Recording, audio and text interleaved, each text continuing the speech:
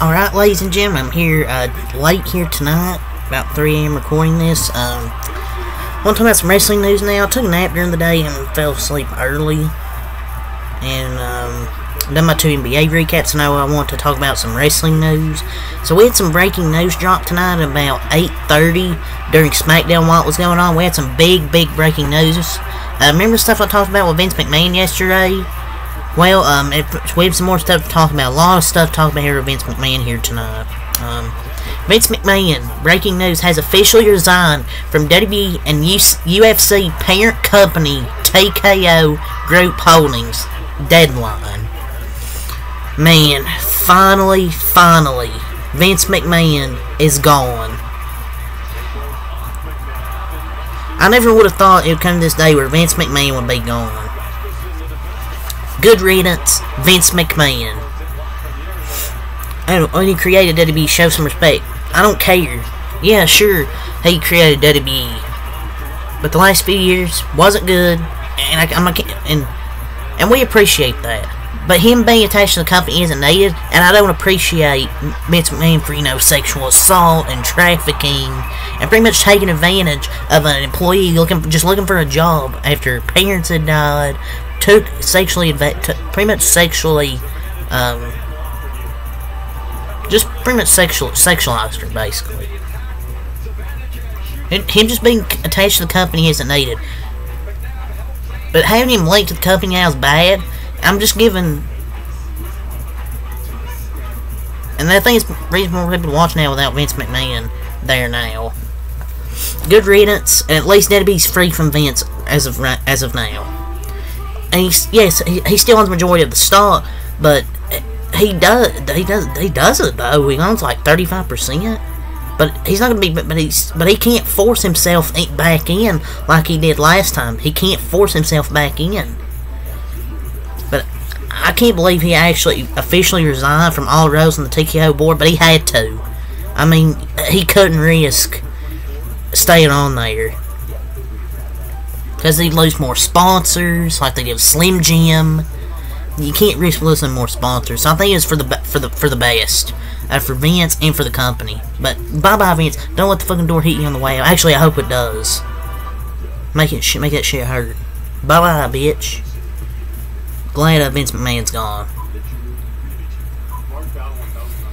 And Vince McMahon said in a new statement here, uh, a lot of quite stuff to talk about here and Nick Khan issuing an email to the employees. But let's talk about Vince McMahon. In a new statement, as he officially resigned from TKO, I stand by my prior statement that Miss Grant's lawsuit is replete with lies, obscene made-up instances that never occurred, and is a vindictive distortion of the truth. I intend to vigorously defend myself against these baseless accusations and look forward to clearing my name.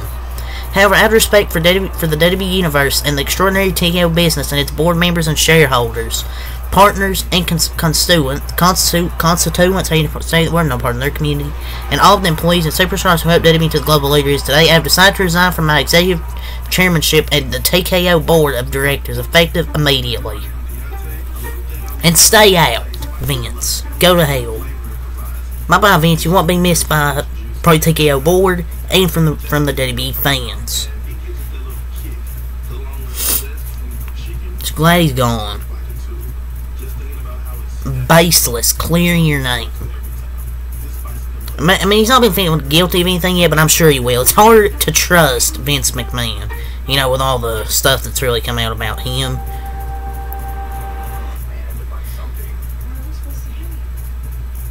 But I've never thought it was in this way, but kind of crazy. All this came out about Vince McMahon. And he's, and he's resigning because it's costing the WWE and TKO sponsorship money. He had to resign because it was costing them money and sponsorship. Costing, basically costing them sponsorship money. But hopefully, he just stays gone. And if he's not guilty of this, then I just I, he, he he still has to stay gone. I don't care. But if he is guilty, he has to freaking go to jail or something. But yeah, that's what Vince McMahon said. A basically same statement, and he said basically why uh, he resigned. So WWE President Nick Khan also issued um, the following email to DB employees.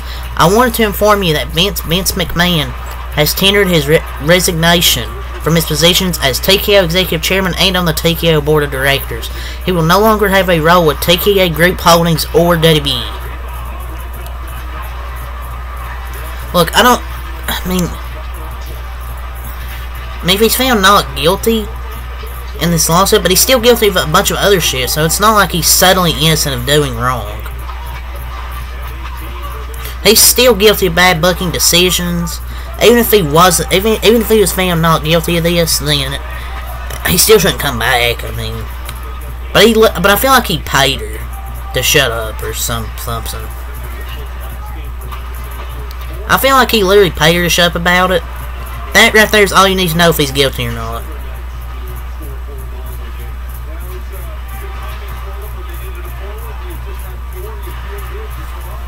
But good, good.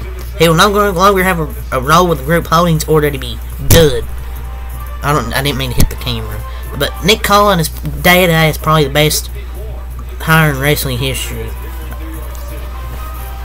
Hopefully sponsors will come back. I mean, I'm sure they will. I don't think many sponsors even left, but the damage might be done. The only one they lost at this point was like Slim Jim. So I mean, they really didn't lose big sponsors.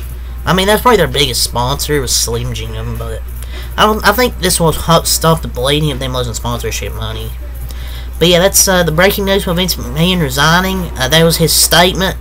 Uh, and then Nick Khan issued that email. But we have some more stuff here. So there's a belief, and depending on who you are, a concern that Endeavor may sweep out anyone close to Vince McMahon and his remaining team in order to have a complete fresh sweep of the company come forward. So they may sweep out anyone close to Vince McMahon. There were employees who exited the company when Vince initially resigned, who returned when he forced his way back in. For those who have, for those who have remained, what did be post Endeavor purchase, the belief among those that we've spoken about is their connection to McMahon may be a major negative going forward for their WWE status. Endeavor right now is cleaning house. They they're putting out threat. They basically saying whoever you are, wherever you are, we will find you and release you, basically, and fire them. That's what the business needs. Good shit from Ari Emanuel. Endeavor's not taking any shit. They're basically, anyone else that's connected with Vince McMahon, probably worked for him, will probably be gone, and they get a fresh sweep with uh, Endeavor. You have to get rid of everybody with related, like, works with Vince McMahon. And this won't affect Triple H or anybody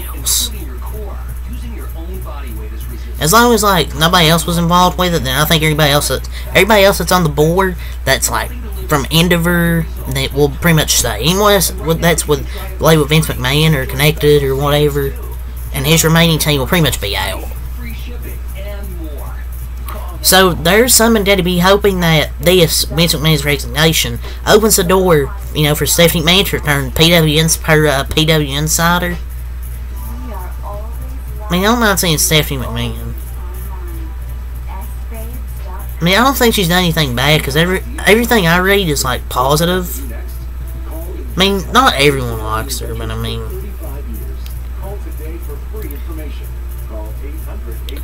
I will she come back. I don't know. Does does she want to? I don't know. I think she could. But that just maybe that was always the plan. No, she stepped away without any word further. Maybe you'll see um, her come back into the board of directors, maybe. I don't know. We also have some more stuff from PW Insider. More stuff regarding the McMahons. So while Vince McMahon is still a massive stockholder in the company, from what I mentioned, what I mentioned a little bit ago, he can't force his way back in into power the way he did last time he resigned. So last time he resigned, it was pretty easy for him to force his way back into power, but this time it, it's not as easy. Post Endeavor sale, he's no longer the majority stock stockholder and will not have the power the way he did. So he's he's no longer the majority stockholder, and he doesn't have the power to return the way he did before, which is amazing. Um, excellent news, no more events. So he's not the major majority uh, stockholder. So hopefully no more threat of Vince McMahon. Whether the allegations are true or false, it won't matter. Vince McMahon's done in WWE. If they're true or false, it doesn't matter. He's done with WWE. I think he's gone for good and for real this time. I think it's a new era, officially new era in WWE. I think Vince is done. And uh, Vince McMahon's profile, even on WWE's official website, has been like eradicated, like it's gone. They pretty much really said, they pretty much really said, gone when they saw that profile still up. But he deserves everything that's coming toward him. He deserves hell. It's just crazy. As of tonight, no member of the McMahon family is officially working for WWE for the first time ever, ending a run that dates back to the 1950s founding of Capitol Wrestling by Jess and Vincent J. McMahon. Which, honestly, is crazy. Yeah, I mean, Triple H still works there, but he's not a McMahon. He wasn't born a McMahon, so he's not a, a, a McMahon. I don't know. I don't, I don't know what's happened to Shane McMahon. I guess. It, I mean, yeah, he got fired. I mean, yeah, then he tore his quad, but I don't know if he'll come back. I don't know if he has any dirt under him. I mean, everything I see of Vince McMahon, all he does is like, or uh, Shane McMahon just buys shoes and jumps off cages. I don't know. I think I don't even know if he's a contract, but I mean, contracts could get extended if you like get injured, but kind of crazy. Like, no McMahon. For the first time since 1950. No McMahon is running the company.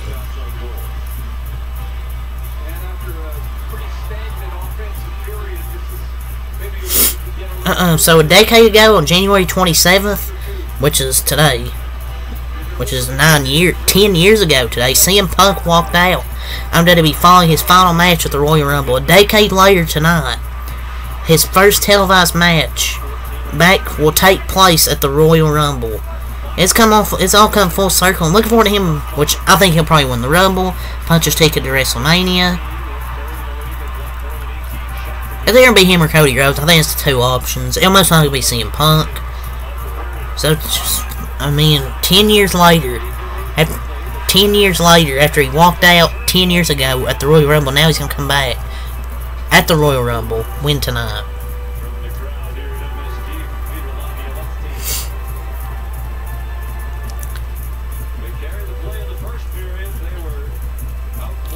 So, um, Fightful Select, um, today, um, or yesterday, it was told that our major sponsor that was considered working at is now no longer interested.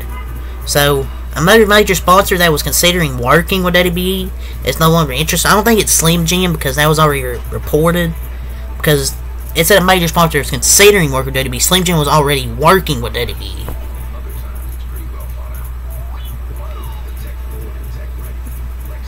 Vince cost him a lot of money with the sponsors.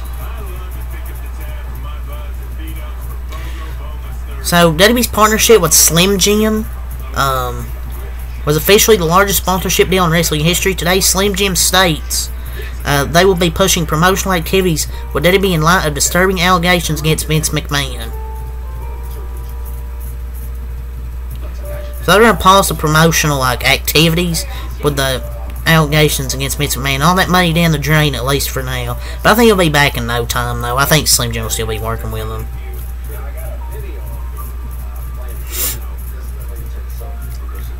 Um, so press conference following the Royal Rumble is officially set as of now. Man, we, we'll just get the same fucking questions over and over. Uh, so, I would read this. The uh, spokesperson for Slim Jim issued the following statement. Slim Jim values integrity and respect in all of our partnerships. Given the recent disturbing allegations against Vince McMahon, at this time we've decided to promote to pause our promotional activities with WWE. The decision reflects our commitment to our brand values and responsibility to our community. We'll continue, we'll continue, we will continue to monitor the situation and base our future engagements on what future engagements on future engagements on our values and what's best for our brand. I still think they'll get money regardless. I think Slim Jim will resume their promotional activities. Uh, the official UFC count posted the following UFC WWE TakeOver Anaheim on UFC 280, no, 298 February 17th and Raw February 19th. So the first official TKO weekend of co-branded events. I think that's pretty cool. Honestly, I think that's pretty cool. Um, but yeah, that's all I have to say for this wrestling video. A lot of Vince McMahon stuff, and a few other things I want to talk. Uh, a few other things I mentioned, but yeah, uh, that's really all I have to say for this video. So until next time, I'm out. Peace.